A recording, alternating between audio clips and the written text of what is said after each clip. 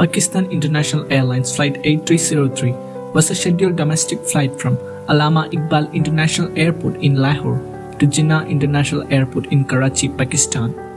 On 22 May 2020, the flight piloted by Captain Sajjad Gul and First Officer Usman Azam took off from Lahore at 5 minutes past 1 and was near the end of its 90 minute journey when it crashed at around 2.45 into the densely populated neighborhood of Model Colony around 3 kilometers from the airport.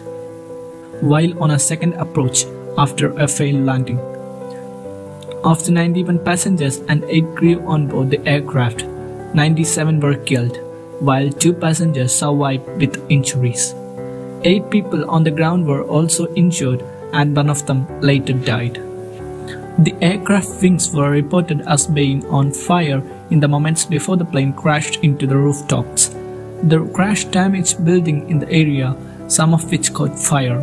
The crash was captured on a video by CCTV camera which shows the aircraft just before crashing into the neighborhood. The pilot had made an initial aborted landing attempt. He later radioed air traffic controller, reporting landing gear issues and the failure of both engines. ATC confirmed to the pilot that he was cleared to use either of the airport's two runways, requesting confirm you're attempting on belly. According to PIA's CEO Arshad Malik, a technical fault prompted the pilot to make a go around rather than land. Even though both runways were available to land, the pilot told the controller, We are returning back, sir. We have lost engines. 12 seconds later, he declared a Mayday emergency, which was the final communication from the aircraft. PK-8303 took off from Lahore, Pakistan on May 22nd and at about 2.35 began the ILS approach to Karachi Jinnah International Airport's runway 25L. After being cleared by the air traffic control for the Nawabshah 2A arrival, PK-8303 was cleared to descend to 10,000, then 5,000, and finally 3,000 feet before reaching the MAKLI waypoint. Instead of having the A320 properly configured and at the specified altitude for the approach. When it reached MAKLI, the A320 was at 9,780 feet and 245 knots indicated airspeed.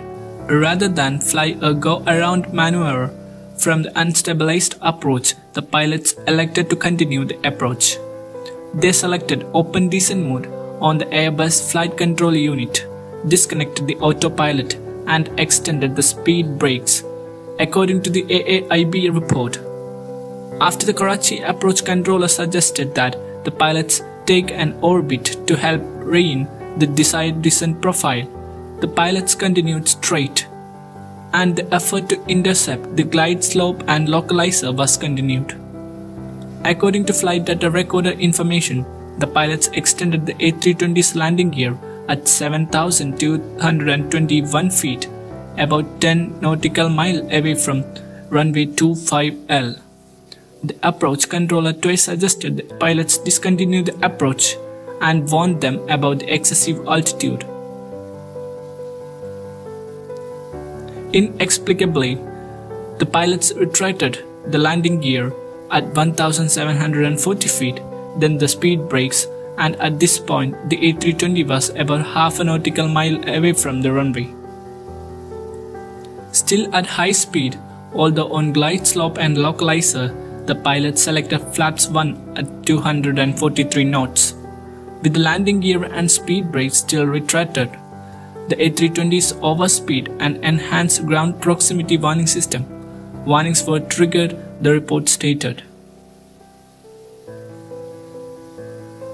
Apparently, events were moving too fast for the approach controller to hand the pilots off to the tower so the controller quickly telephoned airdrome control to get a landing clearance.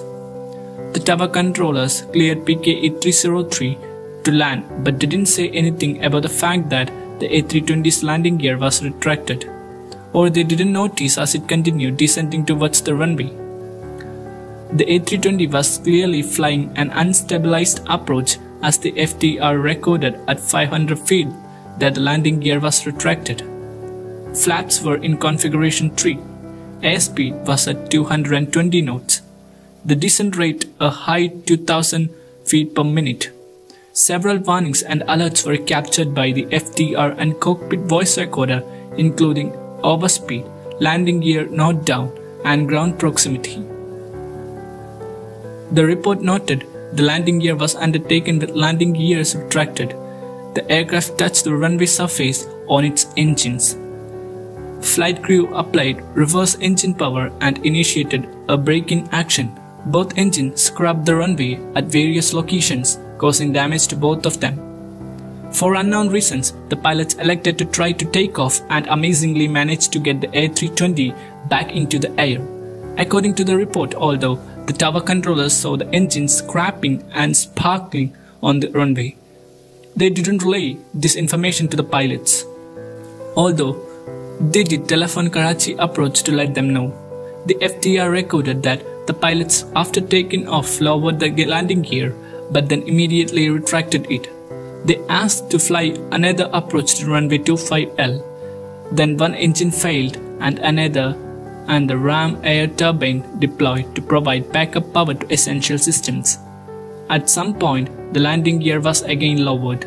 Slats were in position 1 while flaps were retracted.